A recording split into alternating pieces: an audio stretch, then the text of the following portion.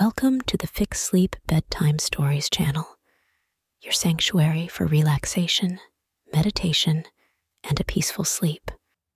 Immerse yourself in the soothing embrace of sleep inducing tales, carefully crafted to transport you to mysterious lands.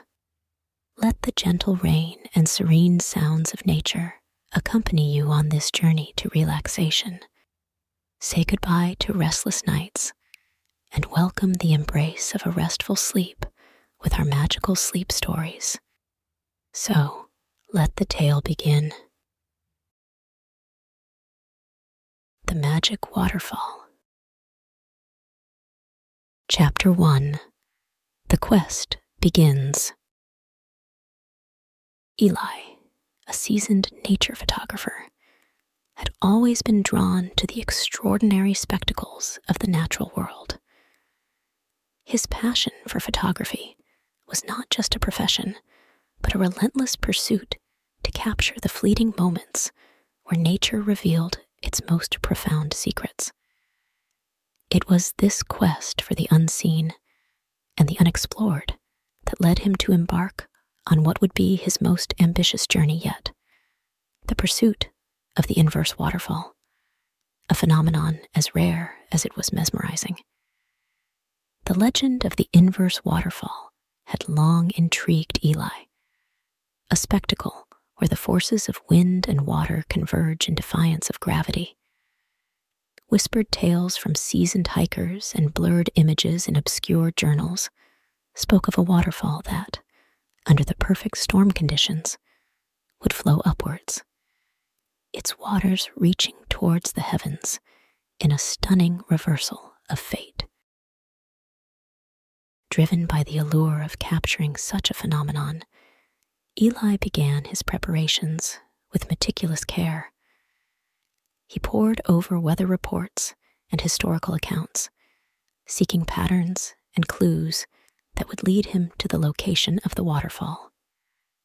His equipment was selected with precision a rugged, weather sealed camera capable of withstanding the elements, a variety of lenses to capture the waterfall from every conceivable angle, and protective gear to endure the unpredictable weather he was certain to face. The night before his departure, Eli sat amidst maps and notes scattered across his workshop, the glow of his desk lamp casting long shadows that seemed to echo the uncertainty and excitement of his quest. The journey ahead was one of many unknowns, a path less traveled that promised not just the pursuit of a rare natural spectacle, but a journey into the very heart of the untamed wild. As dawn broke, Eli set out, his backpack laden with gear and his heart full of anticipation.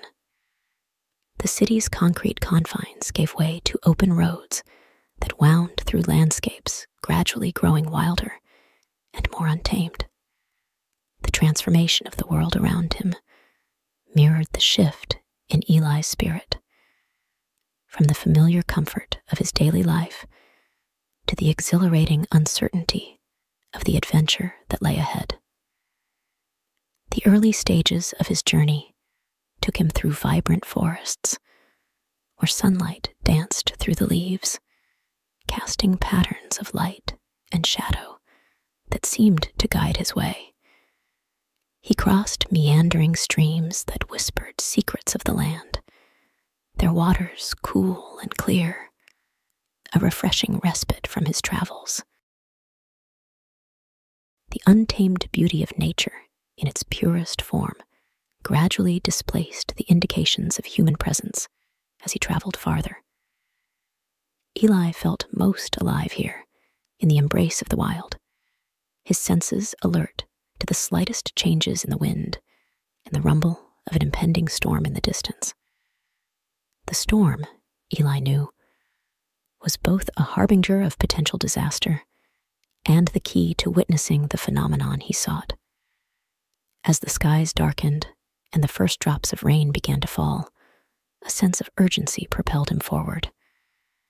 The inverse waterfall, a dance of wind and water, awaited him, but its location remained shrouded in mystery, accessible only to those daring enough to venture into the heart of the storm. Guided by instinct and the fragments of information he had gathered, Eli pressed on, each step taking him deeper into unknown territory. The rain grew heavier, a relentless downpour that soaked the earth and filled the air with the scent of petrichor. The world around him seemed to blur, the boundaries between earth and sky, reality and myth, growing ever more indistinct. Yet, it was in this moment, amidst the chaos of the storm, that Eli found clarity. The quest for the inverse waterfall was more than just a challenge to be overcome. It was a pilgrimage to the heart of nature's mystery, a journey that tested the limits of his endurance and the depth of his passion for the art of photography. As the day waned and the storm reached its crescendo, Eli found himself at the edge of a clearing, where the whispers of legend and the call of the wild converged. Here, at the threshold of discovery, the first chapter of his adventure reached its climax. The promise of the inverse waterfall and the untold stories it held just beyond the horizon. Chapter 2 Through the Vibrant Forest. Eli set out into the middle of a forest that appeared to come alive with the sound of rain the storm signaling the start of his search for the elusive inverse waterfall. The sound of rainfall pattering on leaves, a bird's distant call, and the whisper of the wind rustling through the trees transformed the once peaceful woods into a symphony of noises. This was the vivid forest, where the line separating the visible and invisible drew together to display the unadulterated splendor of the natural world. Eli, with his camera slung over his shoulder, became a pilgrim in this verdant cathedral. Each step on the moss covered ground, a testament to his reverence for the untamed beauty that surrounded him. The rain, rather than a hindrance, became his ally, enhancing the colors of the forest and imbuing the air with a clarity that only the purest of rains could bring. As he delved deeper into the forest, Eli encountered wonders that few had the privilege to witness. A clearing where the sunlight, filtered through the canopy, ignited the raindrops into fleeting jewels that adorned the air. Here he paused, capturing the transient beauty of light and water in a dance of ephemeral brilliance. Each photograph was a tribute to the moment, a preservation of the magic that thrived in the heart of the rain drenched forest. Venturing further, Eli stumbled upon a grove of ancient trees, their trunks gnarled with time, standing as silent sentinels of the forest. The rain had awakened the scent of the earth and wood, a fragrance that spoke of age and wisdom. Among these titans, Eli felt a profound sense of humility, reminded of the enduring cycles of life and the fleeting nature of human existence. His camera, an extension of his vision, captured the solemn beauty of the grove, each image a dialogue between the ancient and the ephemeral. The vibrant forest was alive with inhabitants who called this sanctuary home. Eli's lens found them in their elements. A fox, its coat, a vivid contrast against the green, darting through the underbrush. A cluster of mushrooms, their caps glossy with rain. A microcosm of the forest's hidden life. A spider weaving its web, each strand a testament to the artistry of survival. These portraits of life, framed by Eli's lens, were reminders of the interconnectedness of all beings, each playing their role in the forest's tapestry. As the day waned, the storm's intensity lessened, and the forest was bathed in the ethereal glow of the setting sun breaking through the retreating clouds. The vibrant forest, soaked in the aftermath of the rain, glowed with an otherworldly light, transforming the familiar into the realm of magic. Eli, standing at the edge of a serene lake that mirrored the spectacle of the sky and forest, captured this final scene, where water and light merged in a tranquil harmony. Returning to the path that would lead him out of the forest, Eli carried with him the day's encounters, each photograph a chapter of his journey through the vibrant forest. The experience had altered his perception, deepening his connection with the natural world and reaffirming his belief in the power of nature to inspire and transform. The vibrant forest, with its rain soaked beauty and hidden wonders, had been both a sanctuary and a muse.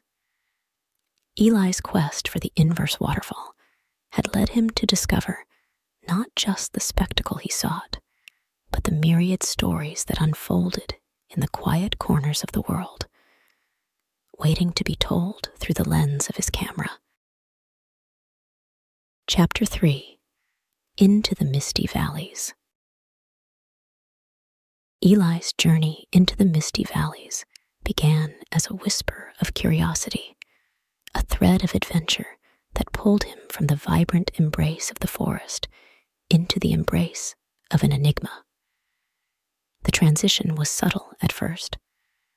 The trees thinned and the air grew cooler, charged with a dampness that seemed to seep into his bones. The vibrant cacophony of the forest's life gave way to a hushed reverence, as if entering a sacred space long forgotten by time. As he descended, the mist began to rise like a living entity, curling fingers that gently erased the world he knew, replacing it with shades of gray and whispers of the unseen. The ground beneath his feet became less certain, the path forward shrouded in veils of white. Eli paused, considering the wisdom of proceeding. But the allure of the unknown of capturing a moment of pure magic with his camera urged him on. With each step, the valley revealed its mysteries. Trees appeared as ghostly sentinels, their branches reaching out, adorned with droplets that glimmered like jewels in the rare touches of light. The silence was profound, broken only by the soft sound of his footsteps and the occasional distant drip of water, creating a rhythm that seemed to resonate with his heartbeat. This was a place of introspection, where the noise of the world was drowned in the stillness of nature's breath. Eli's camera, usually a shield between him and the world, became a tool of exploration, a way to delve deeper into the mist's secrets he captured images of the ethereal beauty, the way the light diffused through the mist, the intricate patterns of dew on spiderwebs, and the sudden flash of a bird darting through the fog, a burst of life in the stillness. The deeper Eli ventured, the more the valley seemed to envelop him in its embrace.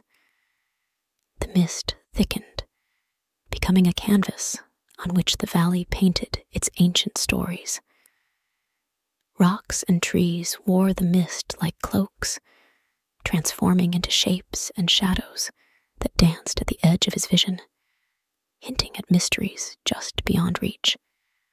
In a clearing, where the mist parted like a curtain, Eli found a stream.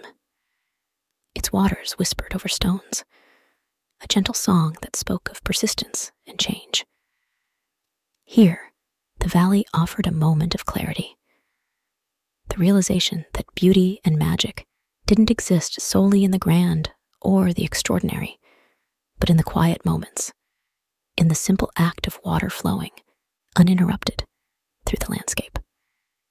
Eli followed the stream, letting it guide him through the valley. The mist began to ebb, revealing pockets of the world untouched by time. Flowers that thrived in the half light bloomed with an inner light of their own, their colors muted, but no less beautiful for their subtlety.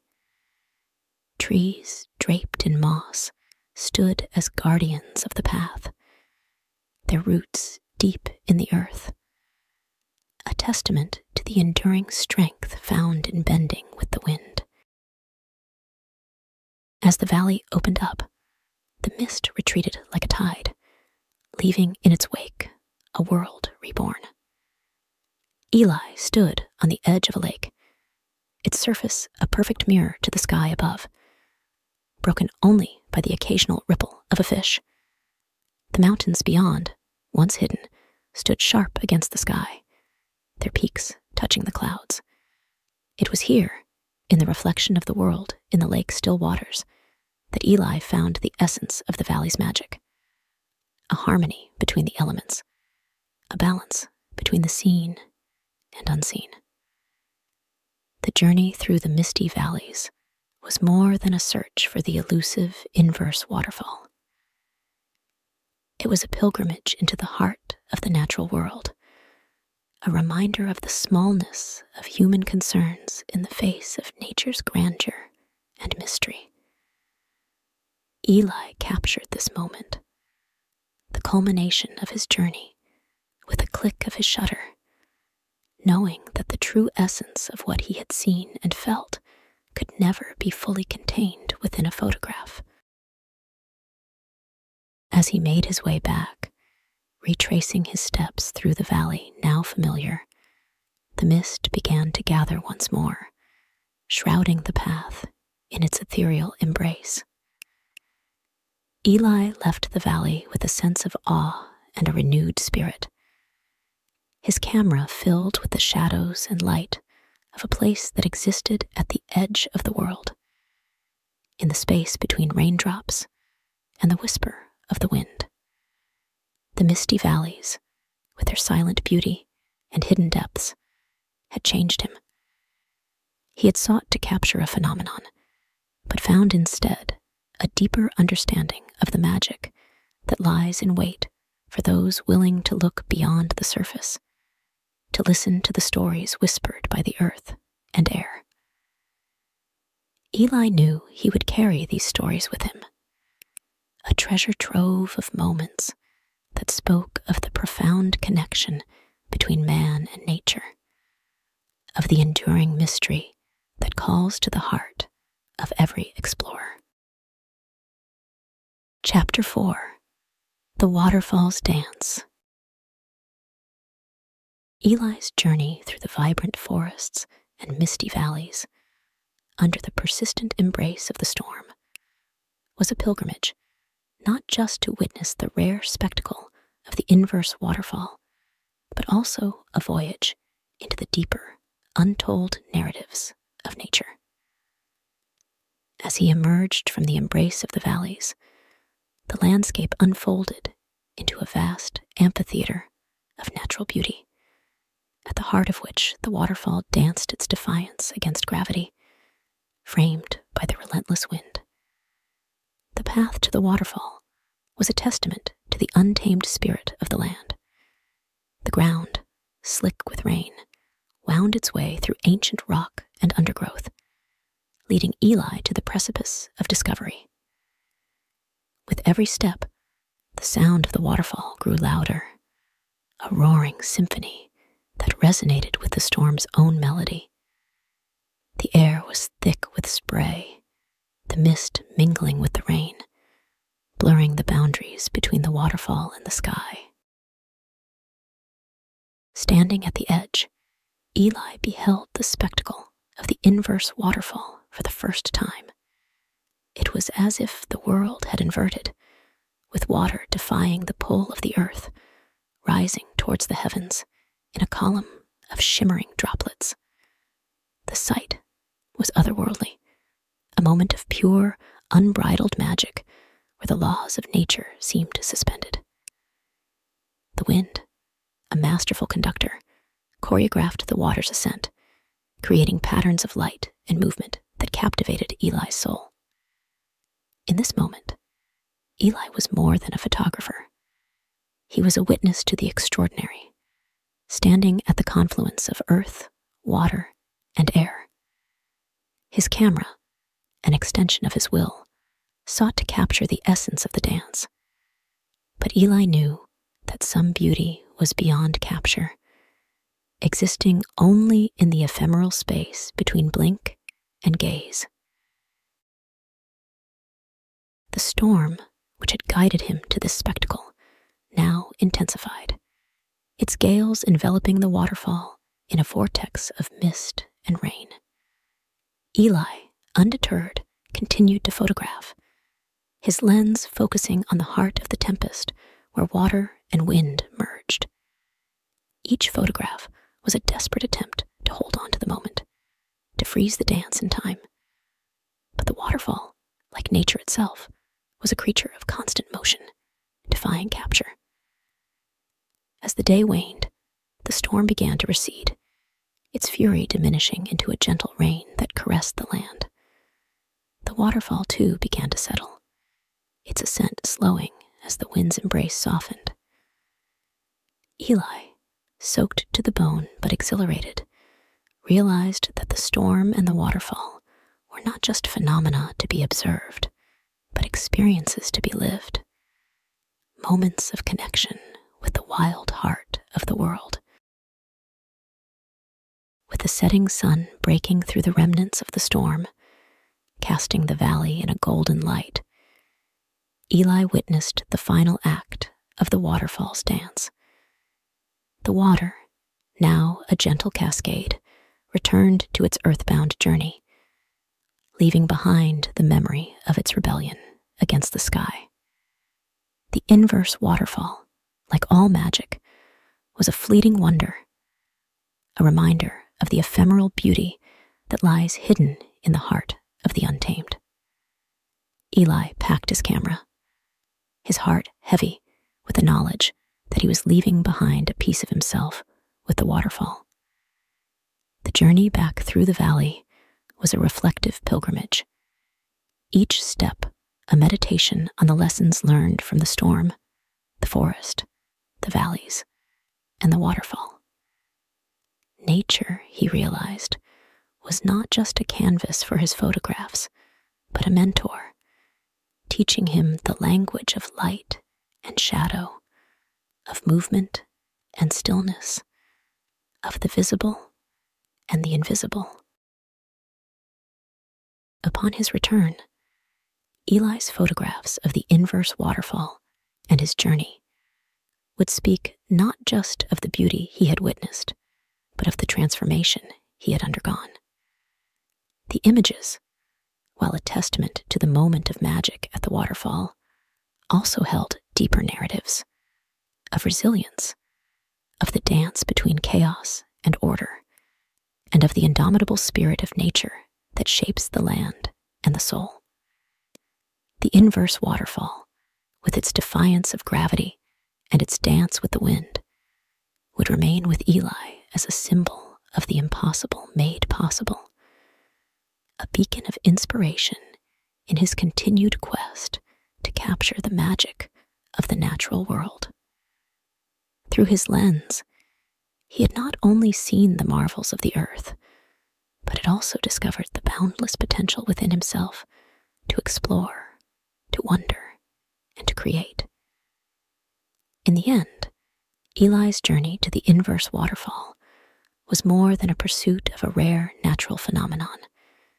It was a journey into the heart of magic itself, where the elements conspire to remind us of the beauty of the world and the power of stories that wait, hidden, for those brave enough to seek them out.